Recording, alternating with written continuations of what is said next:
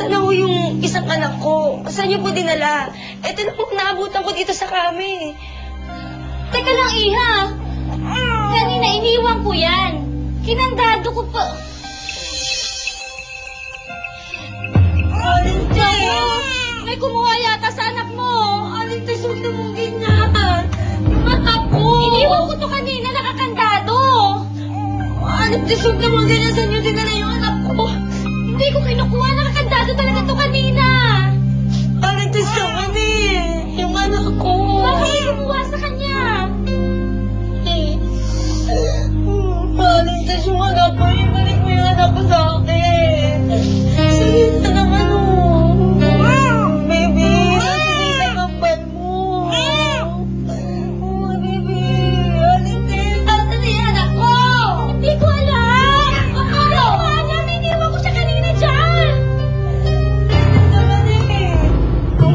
nagluluto.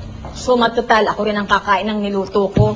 Kung alam ko lang, ako rin ang kakain ng niluto ko, hindi na ako nagluto ng Noche Buena.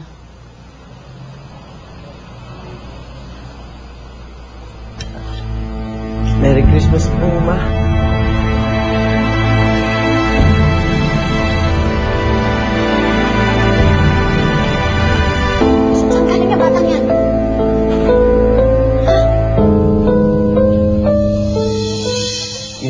Isa sa mga inaalala ko eh. Kaya ho ako nagpunta rito. Baka ho, nanganak na si Jopay. Ay, sana nga nanganak na si Jopay. ano kaya yung apo ko? Lalaki kaya o babae? Eh, talaga ho bang wala kayong idea kung saan nagpunta si Jopay? Naku, kung, kung may idea ako, di sana natutog ko na yung anak ko. Eh, baka ho, may nilapitan siyang kamag-anak ninyo at ah, humingi siya ng tulong. Ilan na lang yung kamag-anak ko natitira, iho. Yung tiyuhin ko at saka yung anak niya nasa Mindoro. Pero, wala doon si Jopay kasi nagtanong na ako eh. Tapos yung isa, yung kapatid ko na nasa Laguna, eh, sigurado ko hindi lumapit to si Jopay kasi kung nandun yung anak ko, sigurado yung nabisuhan na ako ng kapatid ko eh. Kaya, wala na akong kilala pa na makapagturo kung nasaan si Jopay eh. Mix, saan galing yan? Saan mo nakuha yung batang yan? Mix, Ah, wala man. Napulot ko lang siya. ano napulot mo? Opo, ma. Eh, kasi kanina, pauwi na ako. Tapos napadaan ako sa isang kalye na walang katao-tao. Tapos nakita ko po siya sa sa gilid ng daan. Iyak nga po siya ng iyak eh. Tapos bumaba ako. Nagulat nga ako nung nakita ko na baby pa lang siya eh. Kaya malamang sinadyang iniwan ng ina niya. Naku, kawawa mo naman pala siya, no? Eh, bakit mo naman inuwi? Naku, kailangan magpunta muna ako sa mga pulis para masabi ko sa kanila na may bata rito. I-report ko muna yan, ha? Eh, wag, wag naman. Wag mo nang i-report. Ako, napakalaki responsibility na may dinalagaan na bata. Ano ka ba? Ma, kung natuloy ang kasal namin ni Jopay, may responsibility na rin sana ako ngayon. Kaya hayaan niyo na lang po na ako ang mag-alaga dito. Pamasko May palatandaan ba kayo sa lalaking sanggol na ito? Wala. Makinis yung... mak- Makinis ang katawan ng bata. Sigurado ba kayo nawawala yun? Baka naman nasa kamag-anak nyo lang. Tita ko lang yung kamag-anak ko dito.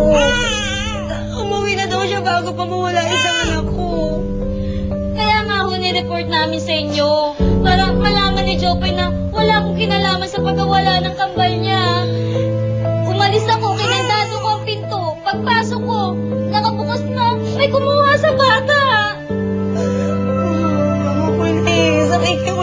Sa inyo. Hanapin niyo po yung anak ko. Hindi ko po po siya naiiyakap tsaka nakikita eh. Kaya sige na po, hanapin niyo po yung anak ko. Nakikiusap ako sa inyo. Hanapin niyo yung anak ko.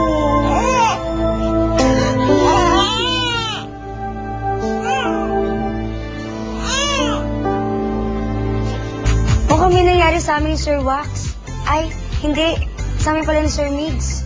Hindi ako sigurado kung kanino. Eh, paano kung magbunga? Sino nga, ma? Tulong naman dyan, oh. Sino kayang karapat dapat kung makatuluyan? Si Migs o si Wax? Ganito lang ang pagsali, eh. Text na! Tatlo ang mananalo ng tigta 10,000 pesos. Malalaman na yan sa pagtatapos ng My Super Sweet Lover ng 17. Kaya text na! Kasi the more text you send, the more chances of winning.